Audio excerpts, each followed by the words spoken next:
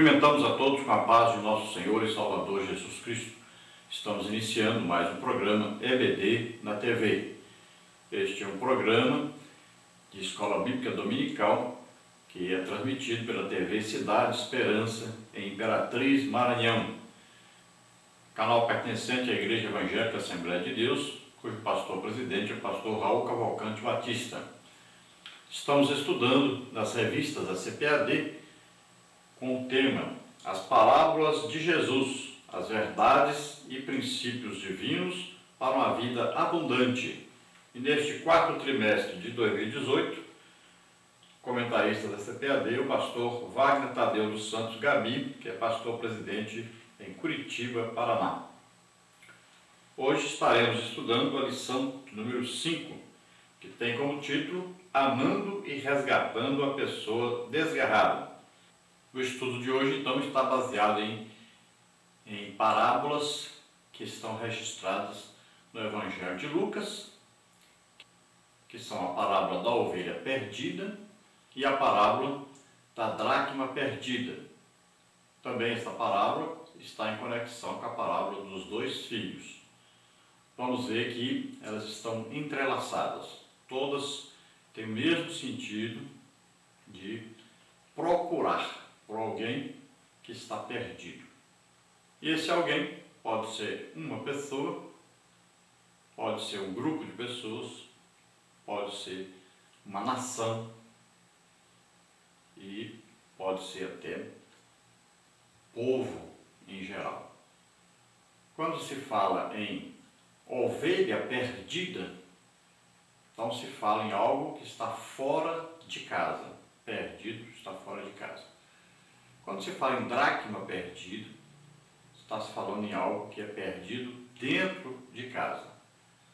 Se nós entrarmos em conexão com a palavra dos dois filhos, nós vamos ver que um filho estava perdido fora de casa, um filho mais novo, filho pródigo, e um filho estava perdido dentro de casa, que é o filho mais velho. Então, aqui o filho mais velho representa o judaísmo, representa os judeus, e o filho mais novo representa os gentios. Então, olha só, se nós fizermos conexão com essas três parábolas, nós vamos entender uma coisa interessantíssima, né? Então, nós temos a parábola da ovelha perdida, representando então o filho mais novo que está perdido fora de casa. Temos a parábola da dracma perdida, que é a parábola representando o filho mais velho, que está perdido dentro de casa. E nós podemos ver na parábola da ovelha perdida, que eram 100 ovelhas e uma se perdeu. Então, 1% do total se perdeu. Mas veja bem, se perdeu, mas foi recuperado. E nós vamos ver que na segunda parábola, a parábola da dracma perdida, eram 10 moedas e uma se perdeu.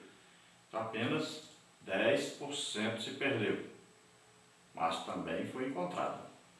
Na terceira parábola, nós vemos aí os dois filhos e todos os dois estavam perdidos. Então 100% estava perdido, mas 100% foi recuperado. Então, nunca podemos abandonar ninguém, nunca acharmos que perdemos alguém. Nós temos que procurar sempre 100%, sempre buscar a todos e em qualquer parte.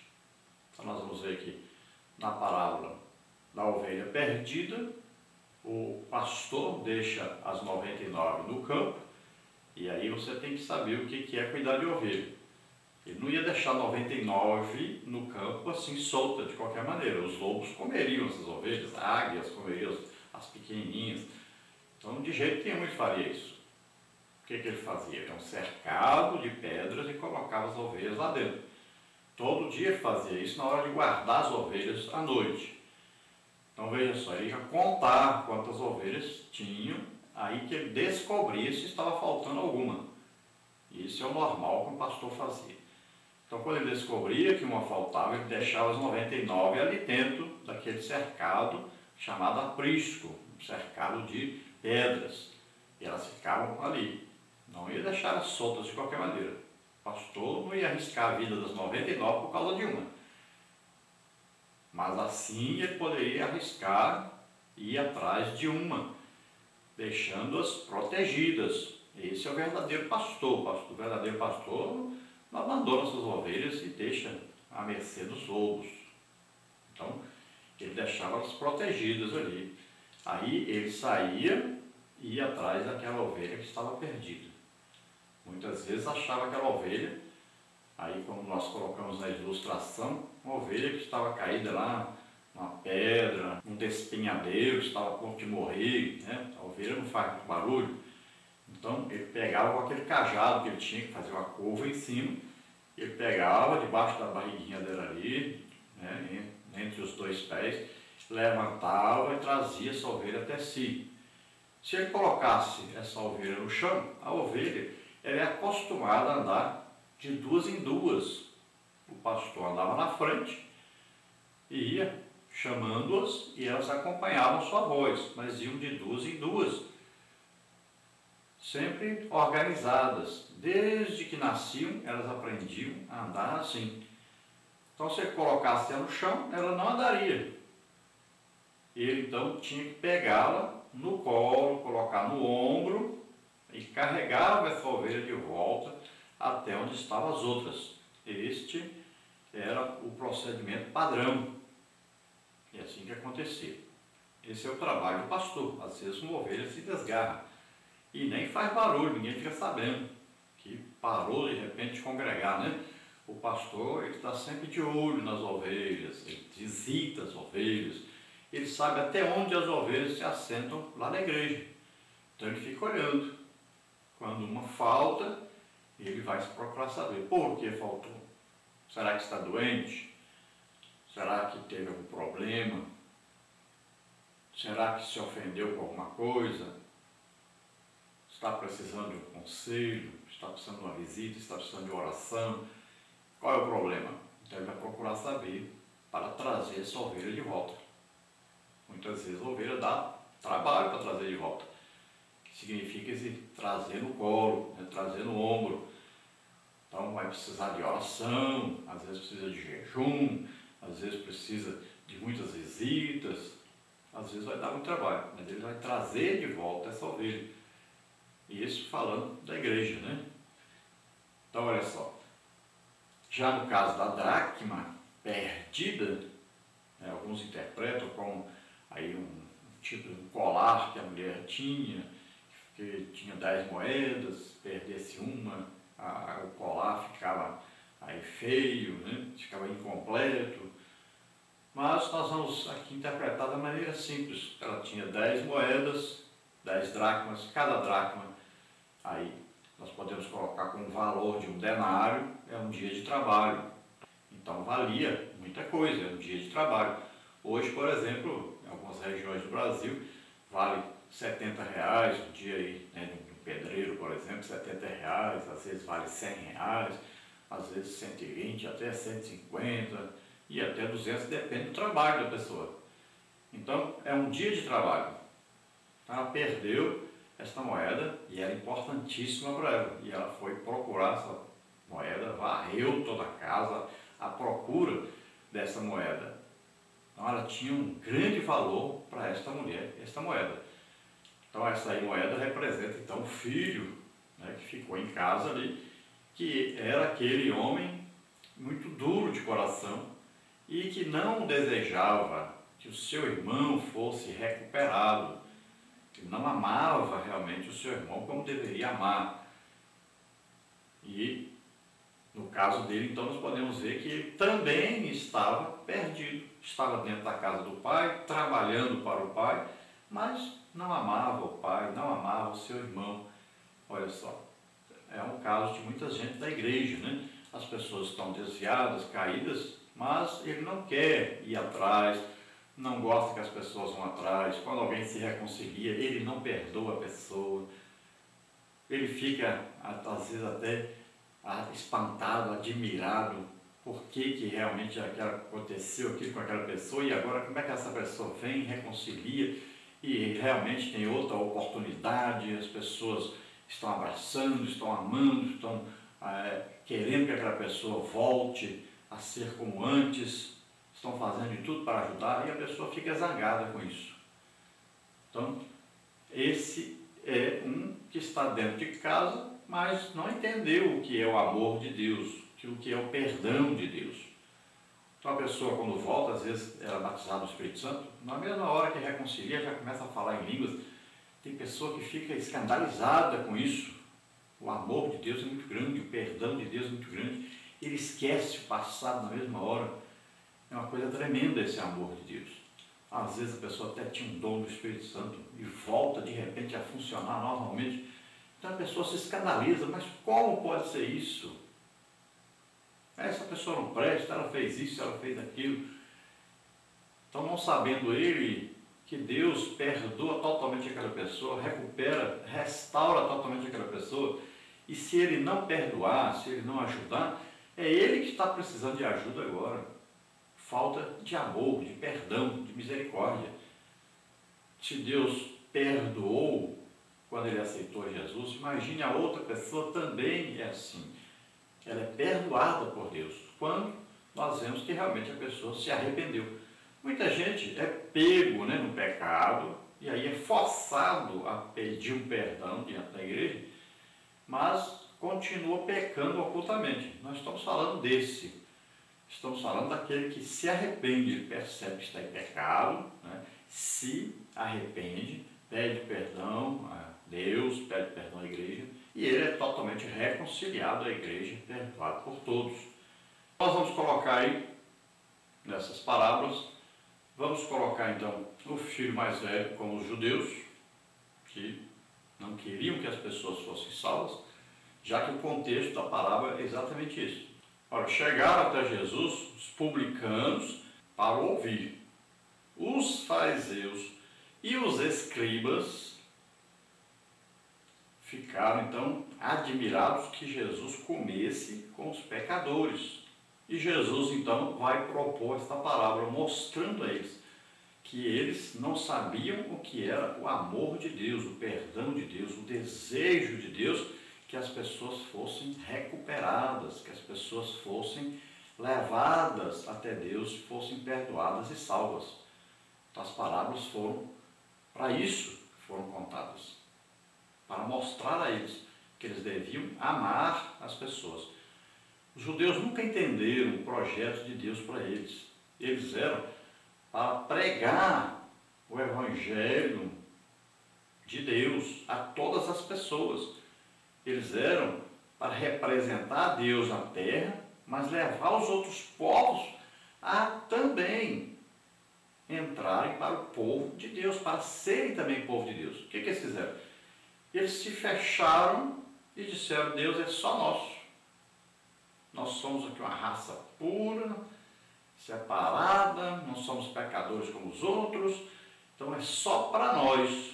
E dentro do próprio judaísmo, eles fizeram um grupo para eles também. Colocaram as mulheres de fora e disseram: é só para nós e é só para os homens. Então eles foram fechando o grupo. Na época de Jesus, já estava numa tal forma que para eles era só ali o grupo de sacerdotes, os fariseus, né, os escribas, os publicanos. Então, eles fizeram um grupo fechado.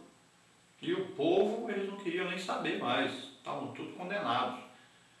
Quem não concordasse 100% daquilo que eles ensinavam, não estava incluído. Então, eles foram fazendo grupos e foram fechando, fechando, fechando todas as portas para as outras pessoas. Eles não amavam as pessoas, não iam atrás das pessoas para trazê-las.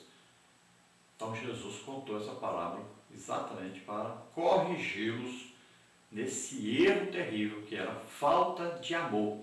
O reino de Deus, ele se resume nisso aí, amor. Amar a Deus, principalmente, sobre todas as coisas, e amar ao próximo como a si mesmo. Bom, então esse é o resumo bem rápido de toda a lição. Agora nós vamos passar pelos tópicos falando mais de detalhes da nossa lição aí. Nesta lição, então, nós veremos os seguintes tópicos e seguintes subtópicos. Tópico 1, interpretando as parábolas da ovelha e da dracma perdidas. Subtópico 1, a parábola da ovelha perdida. Subtópico 2, a parábola da dracma perdida. No tópico 2, nós temos precisamos buscar quem se desgarrou. Subtópico 1, a vontade de Deus é que todos os homens sejam salvos. Subtópico 2, Jesus é um pastor que está sempre em ação. Subtópico 3, resgatando a ovelha desgarrada. No tópico 3, nós temos a alegria no céu quando um pecador se arrepende. Subtópico 1, Deus não analisa os motivos pelos quais alguém se perde, mas o reencontro exige arrependimento. Subtópico 2, Deus está disposto a perdoar. Subtópico 3, a alegria da salvação. Veja que Jesus está ensinando que há uma grande alegria no reino de Deus por uma pessoa só que se arrepende. Uma pessoa individual tem grande valor para o reino de Deus. Imagine várias pessoas, imagine um bairro, imagine uma cidade, imagine um estado, imagine um país, imagine aí um bloco de nações, imagine aí um continente, imagine o mundo inteiro. Então Deus ama a todos e Jesus morreu por todos para salvar a todos. Todos devem ouvir o Evangelho e terem a oportunidade de se converter, de serem salvos. E isso contraria o ensino, por exemplo, né, dos calvinistas, que dizem que Deus ama uma parte só dos homens, que já escolheu uma parte que vai ser salva, e a outra parte vai ser condenada. Então, já entendem Deus completamente diferente. O amor de Deus para eles é para um grupo exclusivo. É como os judeus entendiam também, que era só para eles, para os outros não. Vamos ver então a leitura bíblica em classe, que está em Lucas capítulo 15, do versículo 3 ao versículo 10, que diz assim: E ele lhes propôs esta parábola, dizendo: Que homem dentre vós, tendo cem ovelhas e perdendo uma delas, não deixa no deserto as noventa e nove e não vai após a perdida até que venha a achá-la. E achando-a, a põe sobre os seus ombros, cheio de júbilo. E, chegando à sua casa, convoca os amigos e vizinhos, dizendo-lhes: Alegrai-vos comigo, porque já achei a minha ovelha perdida. Digo-vos que assim haverá alegria no céu por um pecador que se arrepende mais do que por 99 justos que não necessitam de arrependimento. Ou qual a mulher que, tendo dez dracmas, se perder uma dracma, não acende a candeia e varre a casa e busca com diligência até a achar? E achando-a, convoca os amigos e vizinhos, dizendo: Alegrai-vos comigo, porque já achei a dracma perdida. Assim vos digo que há alegria diante dos anjos de Deus por um pecador que se arrepende. Vamos ver então a introdução que diz o seguinte: O que levou Jesus a apresentar a parábola da ovelha perdida, a parábola da dracma perdida e a parábola do filho pródigo, como está em Lucas 15, 11 a 32, antes de dirigir-se novamente aos discípulos no próximo capítulo, 16, de 1 a 13, foi a insensata murmuração dos fariseus e dos escribas exposta nos dois primeiros versículos de Lucas 15, mostrando o quanto eles eram ignorantes do verdadeiro propósito da missão e ministério de Cristo. Lucas 5:32.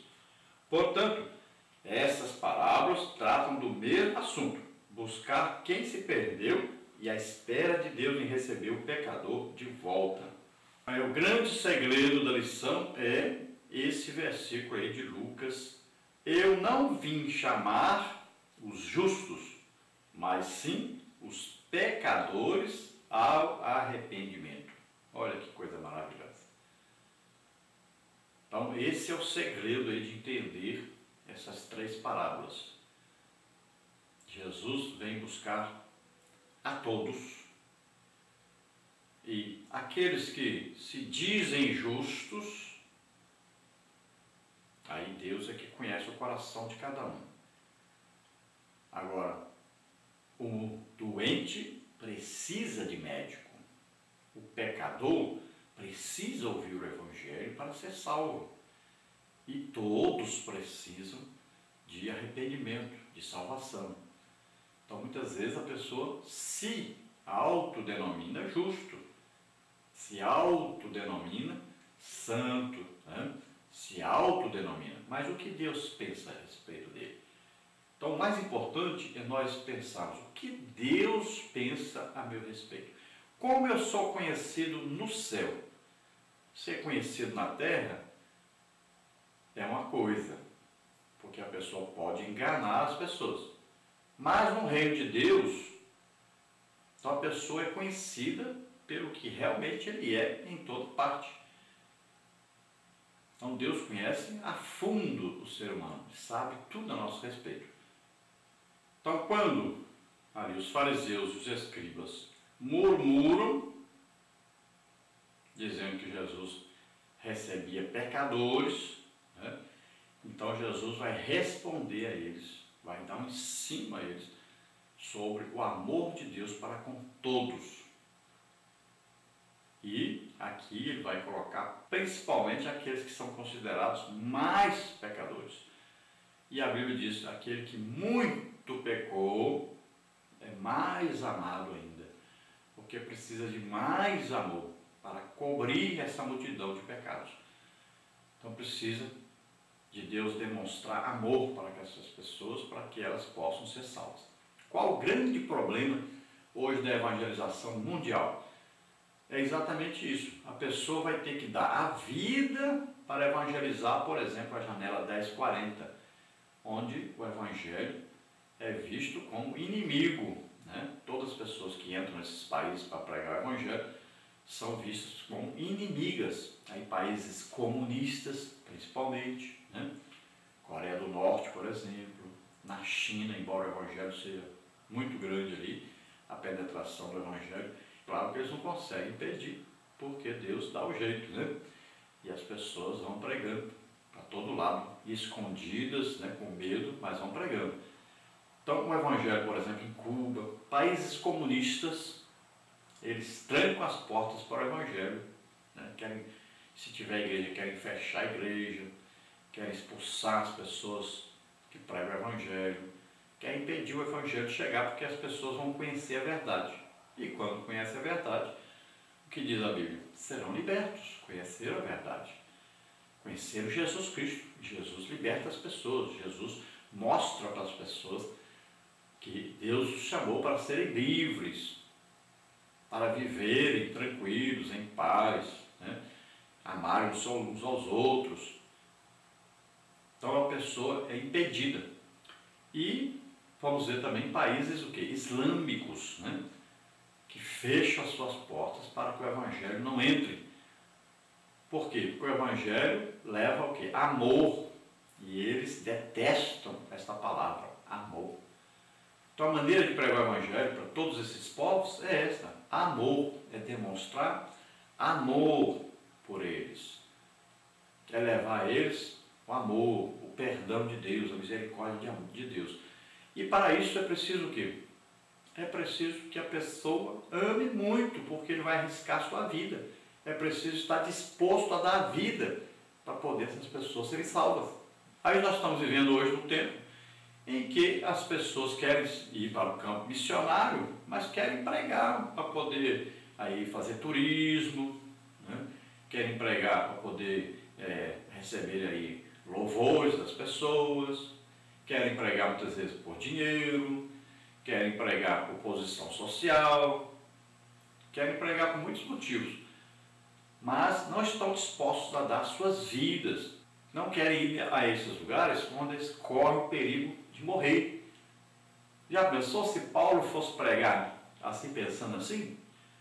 Então, Paulo pregou o Evangelho e ele apanhou muitos lugares, foi preso e arriscou sua vida, foi dado até como morto, foi apedrejado, deram socos, pontapés, outros lugares chicotados, foi preso, sofreu muito para pregar o Evangelho.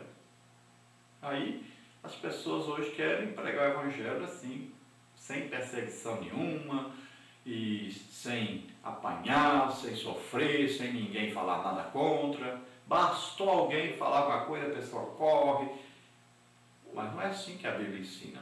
A palavra de Deus diz que se Ele deu a vida por nós, o que custa nós darmos a vida pelos outros? Então essas palavras, que nós estamos falando delas hoje, elas vão falar então daquele que foi perdido e que deve ser buscado. E também da espera, né? O pai fica na expectativa, esperando o filho vir. Ele está sempre esperando que o filho venha. Tanto faz o filho que está dentro de casa, que ele aprenda a amar, como aquele que saiu, que ele retorne, que ele faça ali uma autoanálise e veja que ele está errado e volte para a casa do pai. Então, sempre a intenção de Deus é que os filhos sejam recuperados.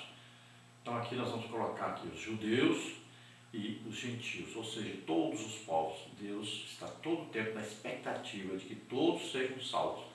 E quando um só que seja é salvo, existe uma festa, uma alegria no céu por um pecador que se arrepende. Vamos então, tópico 1. Interpretando as palavras da ovelha e das dracmas perdidas. Subtópico 1, a palavra da ovelha perdida. Subtópico 2, a parábola da dracma perdida. Subtópico 1, então, a parábola da ovelha perdida. Esta parábola, que também fora contada em outra ocasião, Mateus 18, 12, ilustra a busca pelo perdido. Uma ovelha perdida é um símbolo do descuidado e desatento pecador que anda sem rumo e afasta-se totalmente de Deus inclinando-se para o pecado e prosseguindo nele, sem atentar para o fim que tal vida leva.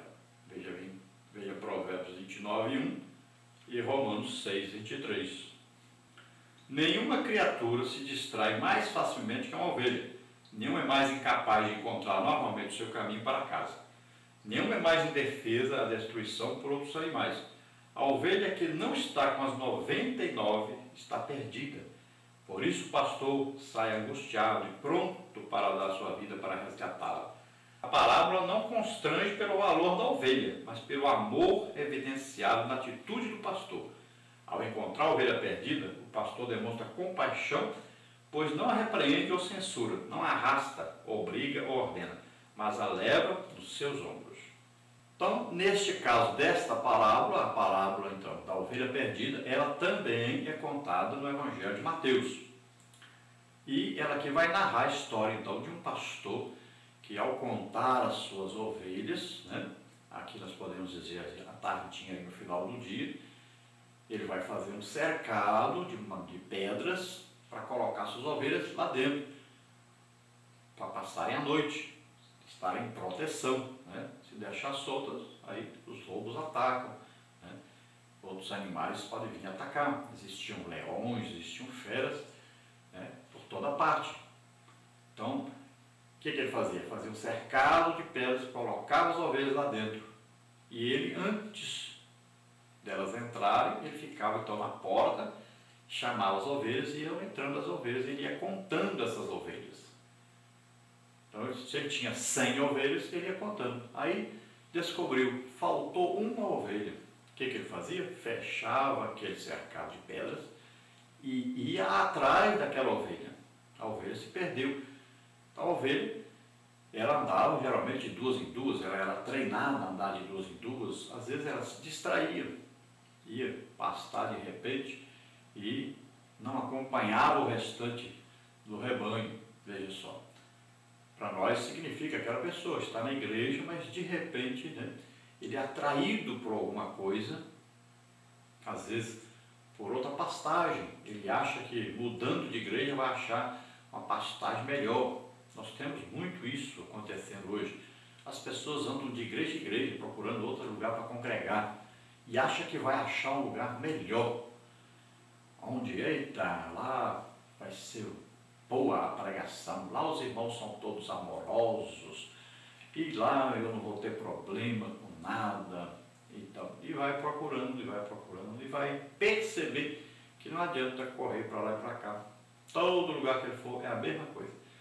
Existem irmãos verdadeiros, existem irmãos falsos, existem irmãos santos, existem irmãos profanos, existe o dia que o, prego, pastor é bom pregador, mas tem dia que não é, tem dia que ele é bom ensinador, mas tem dia que não é, tem dia que os professores da escola estudaram a lição, deram uma ótima aula, tem dia que deram uma péssima aula, e não adianta, todo lugar que ele for, vai haver problema.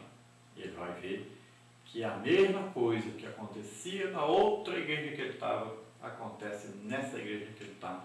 E muitas vezes essa é pior do que a outra. Às vezes até uma seita que ele entrou, pensando que era a igreja verdadeira. E ele vai notar, eita, eu preciso voltar. Muitas vezes se sente envergonhado por voltar, mas não deve. Sempre ele deve, vou voltar para lá, porque lá é o lugar melhor do que este aqui. Então ele deve tomar essa atitude. Muitas vezes acontece isso, né?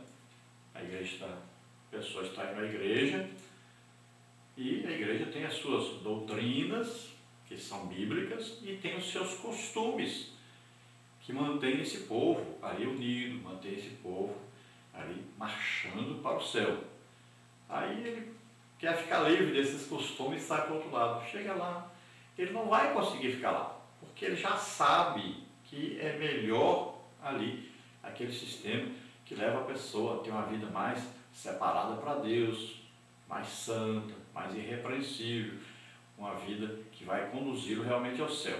Aí ele chega nesse lugar, tudo é liberado e ele fica, ao invés de ficar alegre, porque saiu para ser liberado, ao invés de ficar alegre, fica lá triste, olhando as pessoas viverem de qualquer maneira, as pessoas ouvindo músicas mundanas, né? as pessoas se vestindo como aí as moças como se fossem as prostitutas, né? os homens né? andando atrás de shows, andando atrás de, de, esportes diversos e falando assuntos que não tem nada a ver com o cristianismo, se comportando de todo jeito errado, né? brigas, separações, casais né, que separam, casam de novo, prostituição, adultério, muita coisa. Aí ele fala, eita, eu queria essa liberdade, mas não essa realmente que eu queria. Eu achava que aqui era bom. Então o que eu fazer? Volta para a sua igreja, volta rápido, volta a viver a sua vida santa e irrepreensível e vá para o céu. Ajuda os outros a ir junto com você. Então ame as pessoas. Então aqui no caso a ovelha se perde, de repente caiu até no despenhadeiro. Né? E o pastor então vai atrás até achar. A ovelha geralmente não faz barulho, né? some de repente, não faz barulho. E aí o pastor tem que procurar, procurar até encontrar esta ovelha. E ele então vai fazer todo o esforço para tirar essa ovelha, para ele levar de volta. Então, como a ovelha está acostumada a andar de duas em duas, andar junto com as outras, ela não vai andar de volta. Então, ele vai ter que colocá-la no ombro. E muitas vezes a ovelha é pesada. Tem ovelha que é pesada. Ou seja, a ovelha que é difícil de carregar. Mas ele vai ter que fazer esse esforço. É penoso, é trabalhoso, né? Esse é o trabalho mesmo do pastor. Então dá trabalho, exige oração, jejum, exige esforço, muitas visitas, exige muita coisa. Mas ele vai fazer de tudo para trazer. Olha só. Quem olha assim fala, mas não é possível, o pastor agora vive atrás daquele irmão, está desviado, larga para lá, ele não quer saber não. Mas ele vai se concentrar ali até trazer de volta essa pessoa para a igreja. É um esforço muito grande. Isso demonstra amor. É o amor de Deus para com as pessoas. Subtópico 2, então, a parábola da dracma perdida. A parábola da dracma perdida, que está em Lucas 15, de 8 a 10, para ser mais bem compreendida, precisa ser lida à luz das outras duas, e da ovelha perdida, como está em Lucas 15, 3 a 7. E a do filho pródigo, como está em Lucas 15, de 11 a 32. Uma vez que ela está entre essas duas e é relatada unicamente em Lucas, Deus é comparado com a mulher que se preocupa em procurar o que se perdeu. Muito embora a mulher tivesse ainda nove moedas, ela se empenha em procurar a que se perdera. O termo dracma designa uma moeda grega que era compatível ao denário romano, valor que era equivalente a um dia de salário de um trabalhador agrícola. Assim, quando se considera que aquela mulher tinha somente 10 moedas, trata-se de uma perda significativa. Por isso, ela acende a lâmpada, varre a casa e a procura diligentemente, fazendo uma verdadeira faxina, não deixando um só canto sem ser revistado, em busca da pequena moeda que se perdeu. Quando a encontra, reúne as amigas e pede que se alegre com ela. Da mesma forma, disse Jesus, há júbilo diante dos anjos de Deus por um pecador que se arrepende. Versículo 10. Quando alguém peca e se afasta de Deus, é como se quisesse se esconder do Senhor. Por isso, essa é a afirmação de Jesus a respeito de se esconder de Deus. Lembramos o que fizeram Adão e Eva quando desobedeceram o Criador, como está em Gênesis 3:8. Enquanto lá a ovelha foi perdida lá fora, no deserto, né? aqui é uma moeda, entre 10 moedas. Lá eram 100 ovelhas, uma se perdeu, então 1%. Aqui eram 10 moedas, uma se perdeu, é 10%. Olha só, é um valor muito grande. E é um dia de trabalho aqui. É um valor grande. Né? Quem, por exemplo, vai pagar uma energia elétrica, por exemplo, na maioria das casas, né? as casas mais simples, é esse valor aí, entre 70 a 100 reais. Né? Então, é um valor altíssimo. Olha só, seria como o seu dízimo. Imagine, você perdeu o seu dízimo, o valor total do seu dízimo, 10% aí. Então, ela foi procurar e para encontrar ela teve que revirar a casa inteira. Teve que pegar a vassoura, porque quando varria fazia barulho, né? Da, da moeda. Então ela teve que procurar. Ela foi varrendo a casa todinha, tirando os móveis de lugar, o tapete, foi levantando tudo. Olha só, dentro da igreja muitas vezes, então tem essas pessoas que estão perdidas lá dentro e passam despercebidas. Estão dentro da igreja, mas estão perdidas. A gente, por exemplo, nessa eleição que teve no Brasil, nós percebemos quantas ovelhas perdidas dentro da casa de Deus. Pessoas que não tinham mínima noção do que é o Evangelho, pessoas apoiando, pessoas que estavam ensinando, né, doutrinando as pessoas para abortarem, para praticarem homossexualismo. Imagine, pessoas apoiando ideologia de gênero e várias coisas assim, totalmente contrário ao Evangelho. E nós descobrimos o que? Dentro da igreja, pessoas que apoiavam isso. Olha só, essa é a dracma perdida, dentro de casa. Então o pastor vai fazer o quê? Vai recuperar essas pessoas mas com que? Repreensão? Não, com amor, muito amor.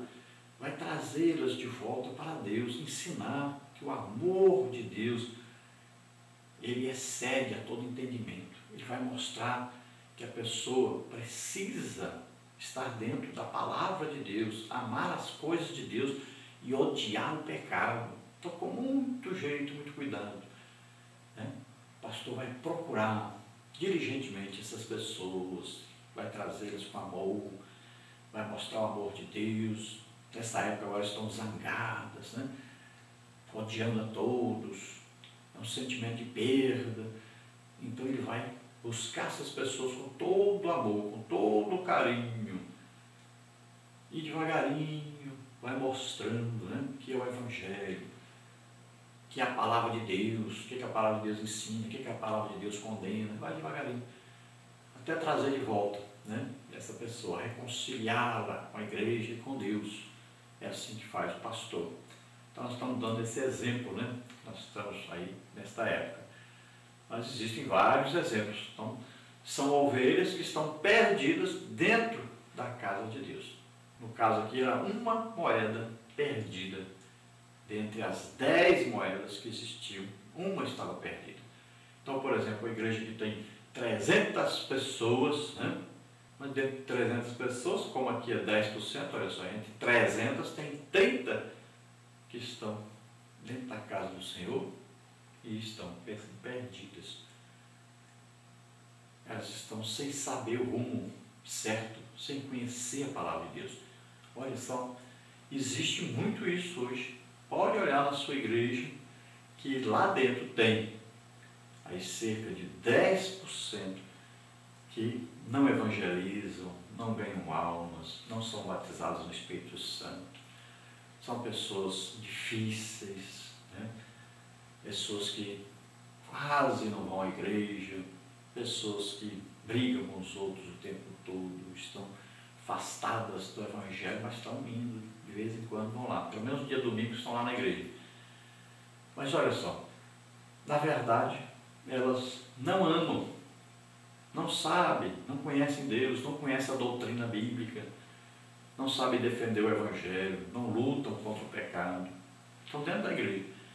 Então é um trabalho difícil aí de procurar. Então essa mulher aí representa Deus procurando esta pessoa para resgatá-la, para trazê-la de volta, para juntar com as outras. E tanto lá no caso das ovelhas, quanto no caso dessas dracmas, quando são encontradas, então a alegria, né? a pessoa fica muito alegre, assim é Deus. Quando aquele que se perdeu fora é resgatado, trago de volta, e quando esse que está dentro de casa perdido, ele é resgatado, né? restaurado, Deus se alegra muito por isso, né? E chama, aqui chamar os vizinhos, tudo, aí são os anjos, né? Se alegram, há uma alegria no céu por um pecador que se arrepende. E deve haver essa mesma alegria na terra. Todos devem se alegrar quando então uma ovelha é trazida de volta, quando uma dracma é encontrada. Então devemos nos alegrar com isso.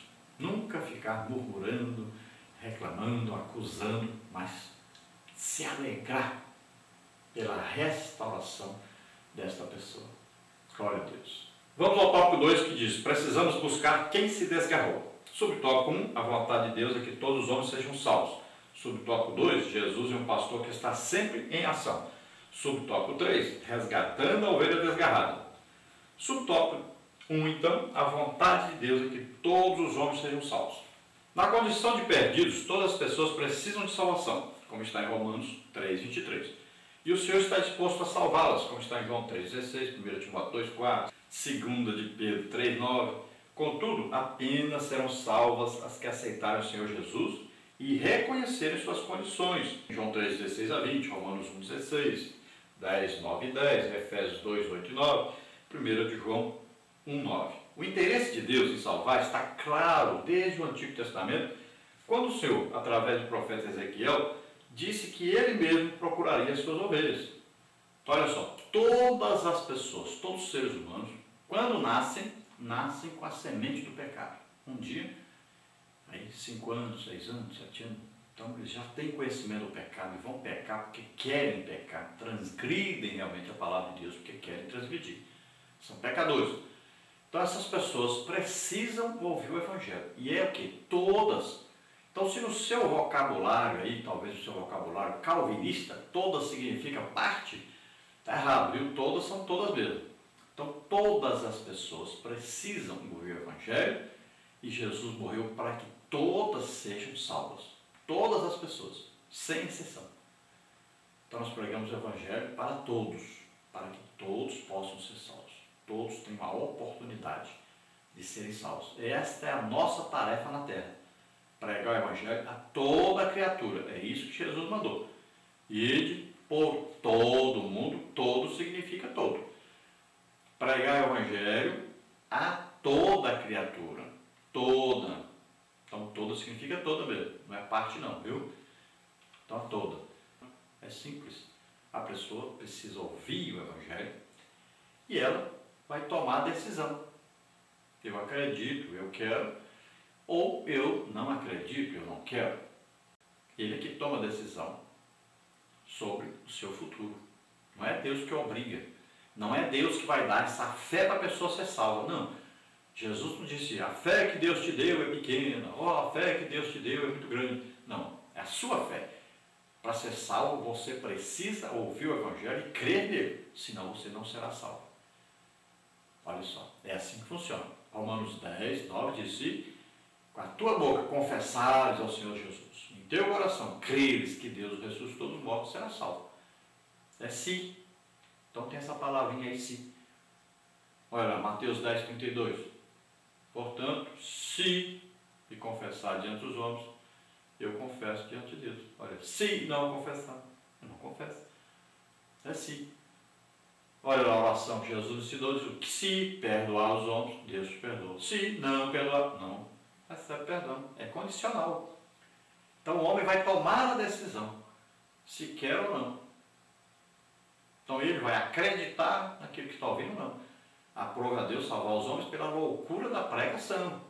Olha, a fé vem pelo ouvir, o ouvir pela palavra de Deus. Então a palavra é pregada, a pessoa vai ouvir. Se ele acreditar, se ele desejar, ele é salvo. É assim que funciona.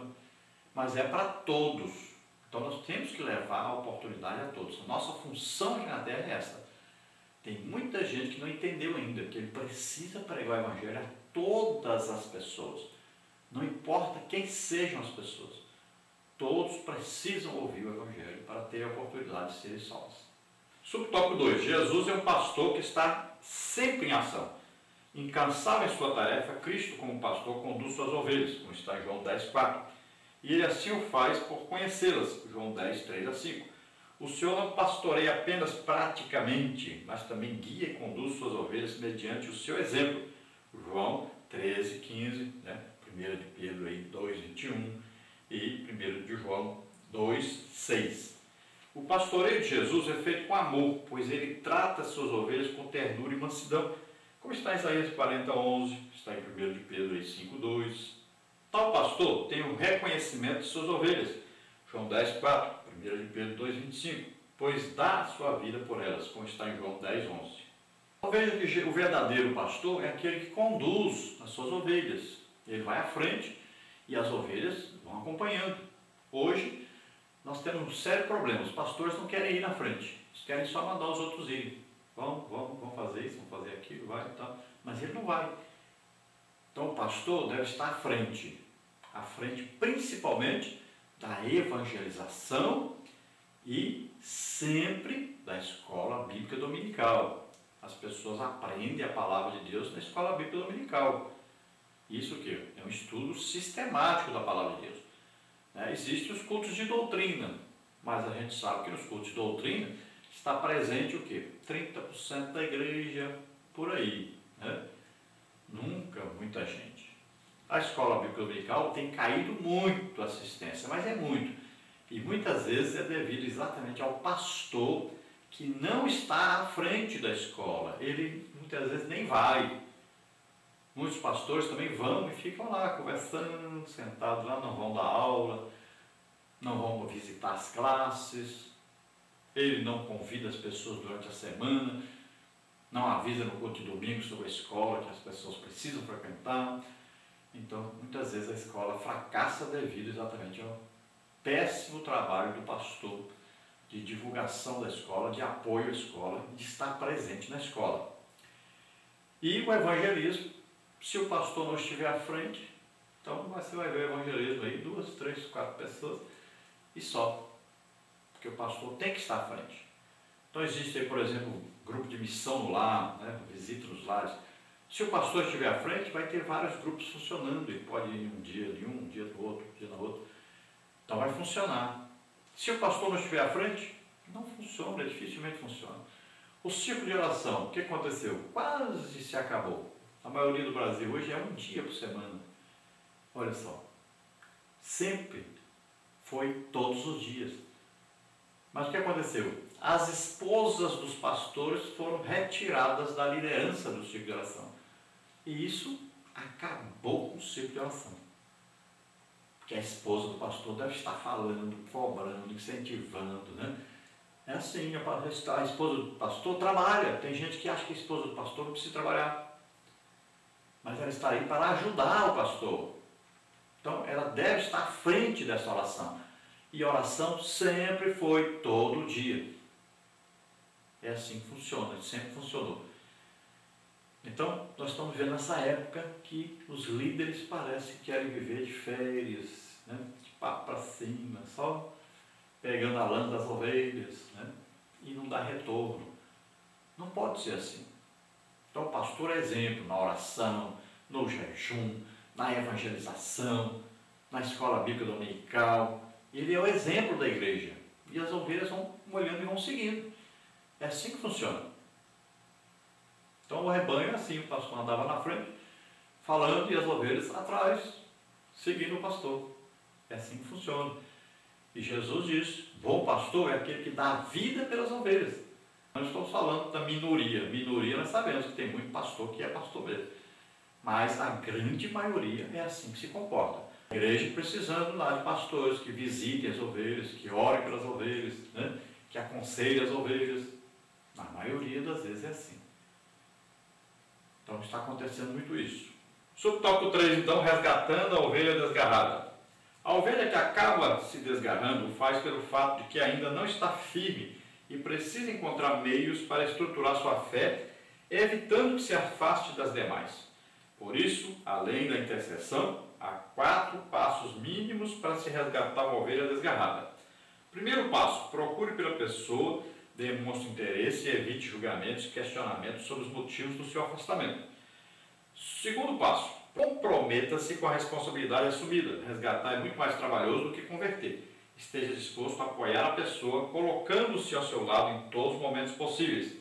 Terceiro passo: envolva a pessoa em atividades e pequenas responsabilidades com outras pessoas ou grupos, para que ela sinta o desejo de ser útil e de se envolver com as atividades da igreja. Aí o quarto passo, nutrir com a boa palavra, significa não julgar, mas estender as mãos em sinal de boas-vindas. Significa ajudar a entender e buscar a compreensão das doutrinas e princípios da igreja, para que, aos poucos, compreenda por si próprio o que a doutrina ensina e, com esta compreensão, encontre razões para adquirir firmeza. Por que a ovelha se desgarrou? Porque ela não estava sendo bem atendida, a comida não era suficiente. Então existem vários motivos, né? Ela ficou abandonada sem amor, sem carinho, sem atenção. Às vezes uma outra ovelha deu ali uma cabeçada nela, né? Então existem vários motivos. O pastor vai procurar por que esta ovelha se desgarrou e vai para lá para não repreender, não ficar falando porque você saiu e tal. Não, ele vai para lá para trazê-la de volta. Então ele vai com muito amor. E existem aí os passos, né? Colocaram aí quatro principais passos que vão ajudar esta ovelha voltar para o aprisco. Então, é aquele crente, né? Que se entristeceu, que se ofendeu, que está afastado e que vai ser trago de volta. Então ela precisa da visita pastoral. Isso é urgente.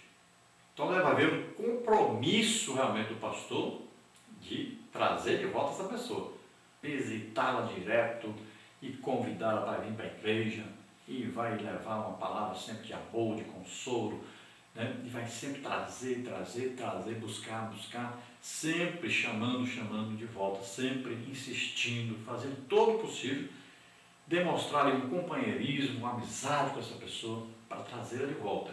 E quando ela chega, tem que envolvê-la em alguma coisa da igreja, ela deve participar de alguma coisa, um coral, um vocal, um conjunto né, musical.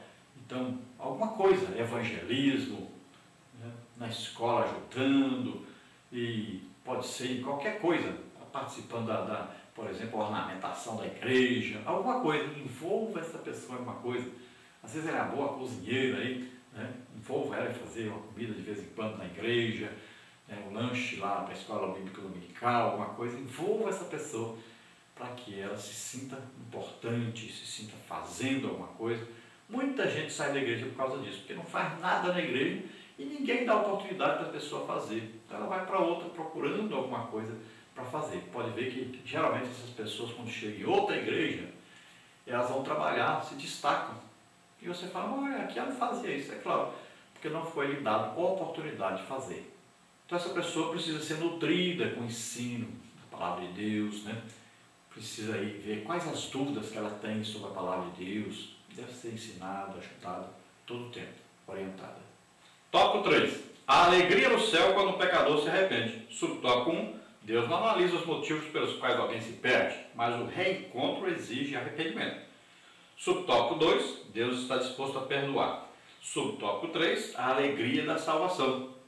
Então, subtópico 1. Deus não analisa os motivos pelos quais alguém se perde, mas o reencontro exige arrependimento. Jesus não se preocupa em dizer o porquê de uma ovelha ter se perdido. Ele não está preocupado se era uma ovelha rebelde que gostava de fugir. A primeira preocupação do pastor é encontrar a ovelha. Jesus age da mesma forma com quem se afastou do redil da igreja. Por isso contou esta história para mostrar que ele está à procura da ovelha perdida. Lucas 15, 3, 4 e 7. Na verdade, a mais simples resposta para ser encontrado por Jesus e cuidado por ele se chama arrependimento. Temos de entender que sem arrependimento será impossível salvar-nos e ficar firmes com Cristo. Lucas 15, 17 e 18. Então isso está bem simples. Né? Se a pessoa se afastou porque pecou, então ela precisa, no retorno, se arrepender deste pecado. Então, sem arrependimento não há remissão de pecados, né? Sem arrependimento não há restauração. Então, a pessoa deve ser orientada a se arrepender, pedir perdão a Deus. Se foi um pecado público, né? como por exemplo, adultério, prostituição, né? um roubo, alguma coisa que as pessoas ficaram sabendo, então ele deve pedir perdão em público, pedir perdão a Deus, pedir perdão à igreja. Se foi um pecado oculto e ninguém sabe, só aquela pessoa e a outra pessoa com quem ela pecou, ou uma pessoa que ela prejudicou, alguma coisa, né, uma briga de casal, uma coisa. Então, esse pecado deve ser cuidado pelo pastor, levar essa pessoa a pedir perdão a Deus, né? E diante do pastor ele vai ser restaurado. Evite levar isso né, à frente da igreja, porque a pessoa vai se sentir envergonhada. Muitas vezes a pessoa não quer fazer isso porque vai se sentir envergonhada, vai ser constrangida. Né? Então existe o pecado que a pessoa peca e várias pessoas conhecem, então esse tem que ser levado diante da igreja né, para que haja uma restauração daquela pessoa. Mas aquele pecado que é cometido e só a pessoa sabe, ou só ali um casal sabe, então eles devem ser levados Aí o gabinete pastoral ali, pastor vai ouvi-los, vai levá-los ao arrependimento, eles vão pedir perdão a Deus ali, vai ser feita uma oração, a restauração deles. Não precisa ser apresentado lá diante dos outros. Então tem o jeito certinho de fazer as coisas. E pastor é aquele que sempre guarda segredo. E na maioria das vezes precisa guardar o segredo até para sua esposa. Né? Muitas vezes a esposa espalha as coisas. Então, cuidado, pastor nunca deve contar essas coisas para os outros. É uma coisa íntima ali, muitas vezes, de um casal. Então, se resolve no gabinete pastoral sem a presença de outras pessoas. E também esse assunto não é levado para frente. Então, tem que ser sábio o pastor para resolver as coisas. Então, quando o pecado aí é público, o que, é que diz a Bíblia? deve ser repreendido na presença de todos para servir de exemplo para os outros, para os outros não fazer a mesma coisa e achar que pode viver no pecado. Subtópico 2, Deus está disposto a perdoar. Não há pecado que Deus não possa perdoar se nós verdadeiramente estivermos dispostos a pedir perdão. Isaías 1,18. Conforme pode ser visto na parábola do filho pródigo, não há pecador arrependido que Deus não acolha em seus braços, console o coração e lhe dê paz, como está em Lucas 15, 20 a 24.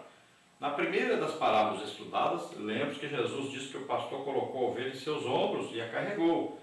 Provavelmente isso seja necessário, porque a ovelha caminhou demais, está cansada, talvez tenha se machucado no caminho que percorreu para longe de seu pastor. Então não existe pecado que Deus não perdoa. É claro, existe a blasfêmia contra o Espírito Santo, mas você não precisa preocupar com isso. Quando você quer congregar, quando você quer ler a Bíblia, quando você quer orar, quando você, quando você quer Deus, não se preocupe, você não blasfemou. Quando alguém blasfema contra o Espírito Santo, ele não quer mais saber de Deus. Ele se volta contra Deus, não quer mais saber, não quer mais saber de ouvir palavra de Deus, de igreja, não quer saber mais nada de Deus. Ele cometeu o pecado da blasfêmia. Aí outra coisa. Todos os outros pecados, Deus perdoa. Não importa o que você fez. Então Deus perdoa. Deus está disposto a perdoar. Então, Receba esse perdão de Deus, o amor de Deus, a misericórdia de Deus. Então você, pastor, deve levar esse perdão a essas pessoas, ajudá-las a encontrar esse perdão, esse amor de Deus, demonstrar sempre esse amor de Deus para essas pessoas.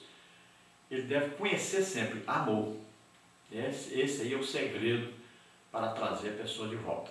Subtópico 3, a alegria da salvação. Se por um lado o pecador encontra paz na salvação otorgada pelo Senhor, é também o fato de que ele torna-se uma pessoa feliz. Salmos 51, 12. Ao terminar de contar cada uma das suas palavras que estudamos, Jesus diz que da mesma forma a alegria diante dos anjos de Deus por um pecador que se arrepende. Lucas 15, 10. Portanto, para que a nossa alegria seja completa, precisamos da alegria do Senhor, pois ela é a nossa força, como está em João 15, 11 e Neemias 8, 10. Então existe alegria na salvação, quando a pessoa aceita Jesus, fica alegre, feliz com Deus, né? E Deus muito feliz com ele. E essa troca de felicidade vai perdurar durante todo o tempo que ele estiver em comunhão com Deus. Quando essa comunhão é afetada, então a pessoa fica triste, começa a se entristecer, muitas vezes começa a ficar enclausurada dentro de casa, né? começa a ficar nervoso, tratar todo mundo mal. Então essa comunhão foi afetada.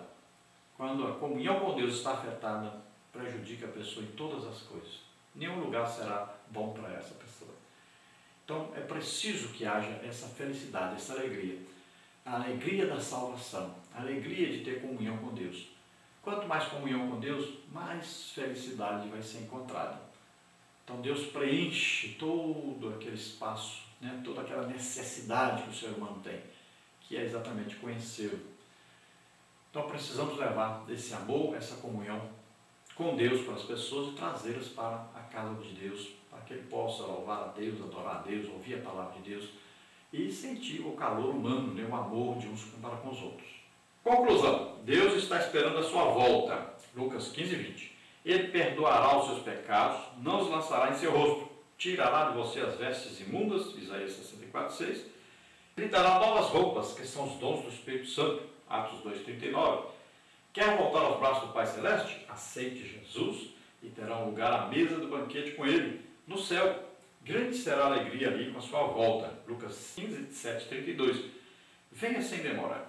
Então, se você, esta pessoa que está afastada, né, está aí meio que revoltada né, com a igreja, com as pessoas, com a liderança, alguma coisa, lembre-se, Deus te ama, Deus quer você de volta. As pessoas que você acha que te odeiam, na verdade te amam.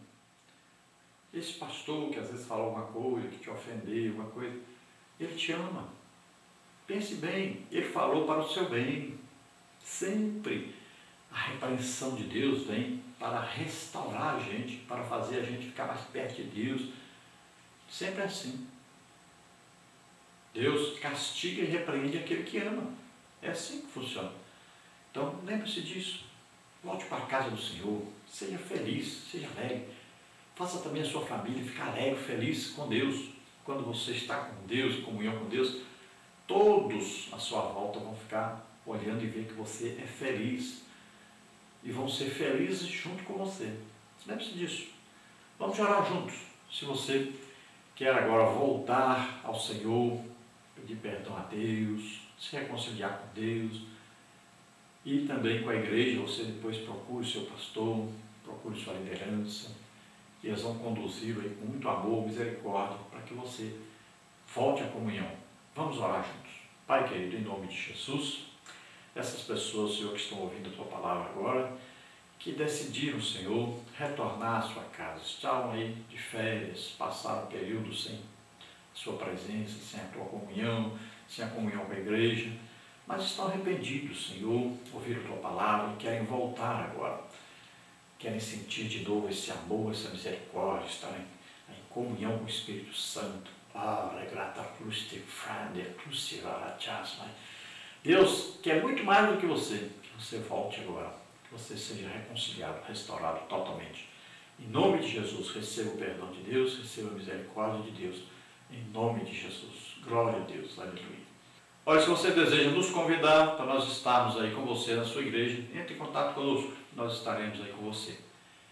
Vamos passar para você a nossa agenda, onde nós estaremos. E lembre-se, olha, da segunda semana de dezembro em diante, todas estão aí vagas as datas. E também para o ano que vem, 2019, não temos nada marcado ainda. Então entre em contato conosco e nós estaremos com você na sua igreja.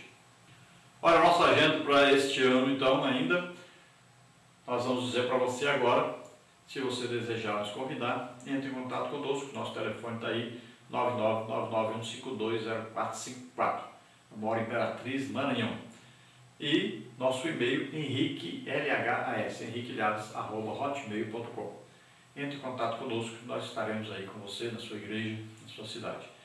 Vamos passar para você então a nossa agenda. Nós estaremos aí então Neste fim de semana próximo, dias 3 e 4 do 11, estaremos em Barueri, São Paulo, na festa de ciclo de oração da irmã Rosimeire, lá na Alameda Antuérpia, número 170, Recanto Frineia, lá com o pastor Antônio Ferreira. Esteja conosco.